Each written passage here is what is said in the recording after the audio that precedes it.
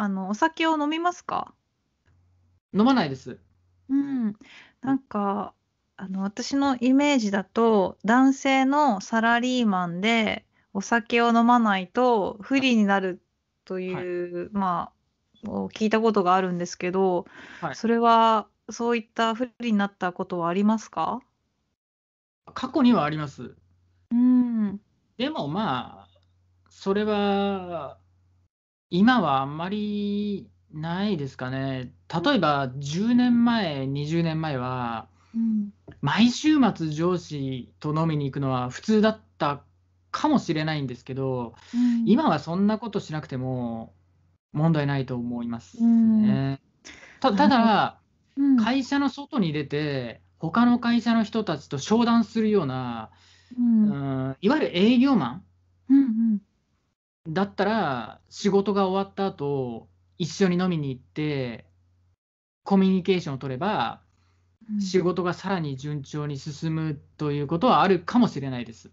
うーん、そうですね。うん。多分、私が昔付き合ってた彼うん。氏は営うん。業マンだったんですね。だかうん。ら、週に2、3回は飲み会がありましたよ。あ、それは大変はですね。い。はい。でも、本人が好きでやってるんで、うんうあ、いいん。別にいいと思ったんですけど、飲めない人だったら大変。うんうん。どうなんだろう、そういうのって比較うん。的古い感覚なのかな、それとうん。も今でも残ってるのか。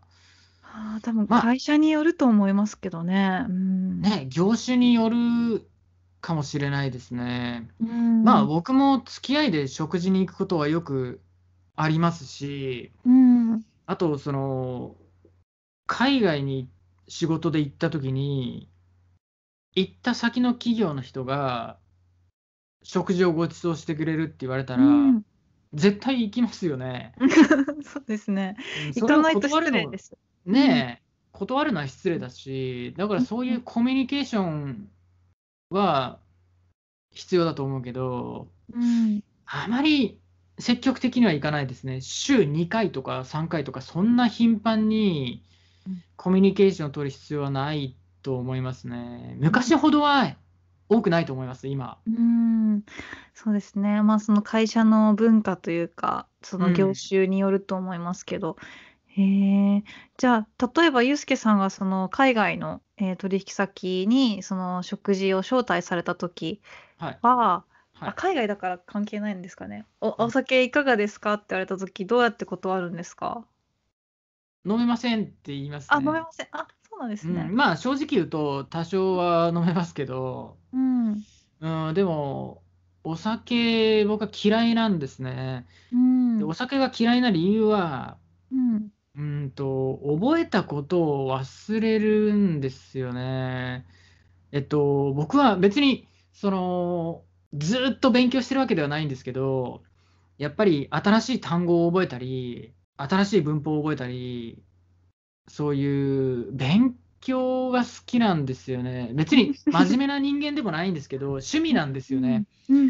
で、ん。覚えたことを忘れるって結構致命的なんですよね。うーん。で、お酒を飲む習慣を身につけてしまうと、自分の趣味が台無しになってしまうんで、うん、それを感じてからもう10年ぐらいお酒を飲んでないです。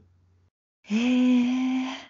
忘れるというよりも、覚えたことが無駄になってしまうような気がするんん。ですよね。うーん。だからそこは割り切ってうん。うん、うん、飲まない方がいいですね。うーん。まあ、な習慣になっちゃう人もいますからね、飲むのが。うそうですん。ね。うん。ん。私も飲まないですね。多分体にあまり合わないのと、ま、うん。特別な時、ま、時々飲みますけど、その1杯とかですね。その、うんうで、ん。次の日仕事がない日とかうん、は飲む時ああ。もあります。うでも、ん。前回撮影した時に、飲んで 飲んでましたよね？そう、緊張してうん。飲んじゃったんです。ちょっと飲んだら喋れるかなと思って顔が真っ赤んなっちゃったんです。で、ちょっと1時間遅らしてもらいましたよね。ごめんなさい。そう。で、なんか緊張するからちょっとお酒飲もうと思ってちょっとだけ飲んだら、ほんとに真っうん。赤んなっちゃって、うん。やばい、引かないと思って、うん、うん、うん。すいません。はい、お。疲れ様でした。今回は仕事に関するお酒の話でした。皆さんは日本に来た時、酔っ払った人を見たことがありますか？もしくは YouTube やテレビなどで酔っ払ったサラリーマンを見たことがありますか？ここで問題です。りゅうすけさんは会話でお酒を飲むと言っていましたか？飲まないと言っていましたか？はい、ゆうすけさんはお酒を飲みません。だからサラリーマンでもお酒を飲まないもしもしゆうすけさんにお酒についていろいろ話を聞きました。お酒についての言葉だけじゃなくてビジネスや仕事の単語も出てくるので今から解説していきます。はい。お酒を飲むパーティーのことを飲み会と言います。大人数ではない場合、まあ2人とか3人とかの場合は飲みに行くということが多いです。飲み会っていうのはもう少し大人数でお酒を飲みに行くことです。はい、例文です。友達に LINE で仕事の後飲みに行かない？とか、会社の人やお客さんと夕方話している時に、まあ、今日飲みに行きませんか？この後飲みに行きませんか？というふうに、えー、使います。はい、飲み会を使った例文です。えー、来月の飲み会、佐藤さんも来るらしい。飲み会が多い会社は自分には合わない気がする。飲み会の後はやっぱりカラオケでしょう。というふうに使います。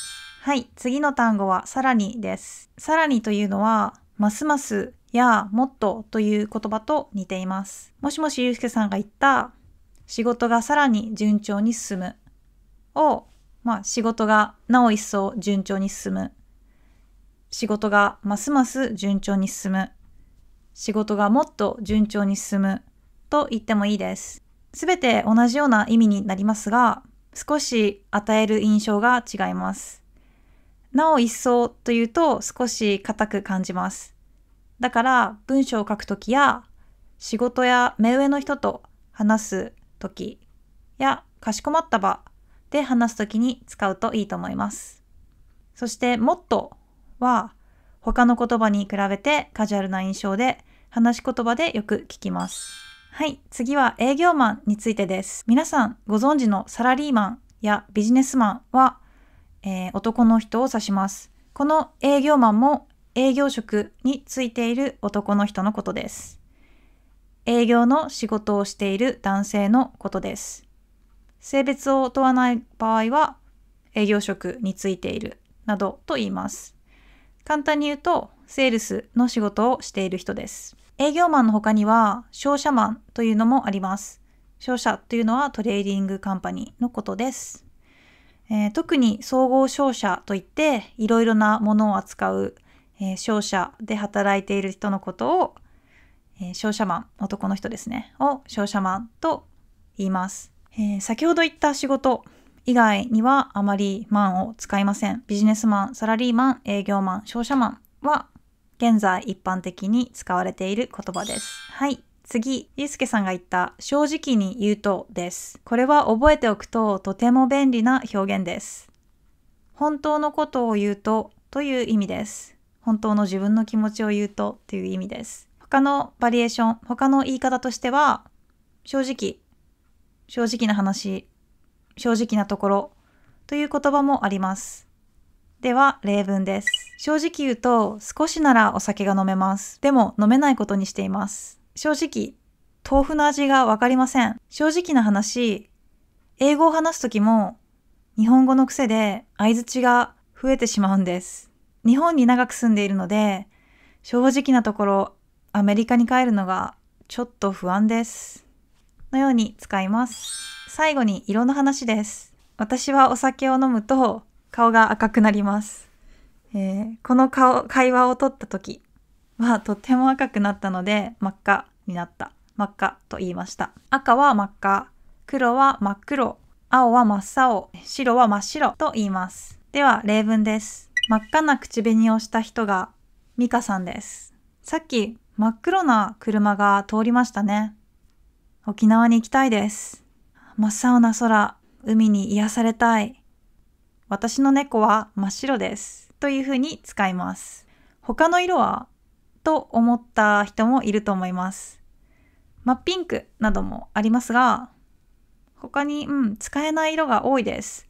だから基本の昔から日本にある色、赤、黒、青、白を覚えるといいと思います。お疲れ様でした。今回も最後まで見てくれてありがとうございました。いいなと思ったら、えー、チャンネル登録と高評価をお願いします。あと、えー、このようなコンテンツをサポートしたい、えー、応援したいっていう方は、あの、コーヒーのドネーションも待っています。あと、メンバーシップも始めたので、もし興味がある人はメンバーシップも見てみてください。はい。じゃあ今日はこの辺で。バイバーイ。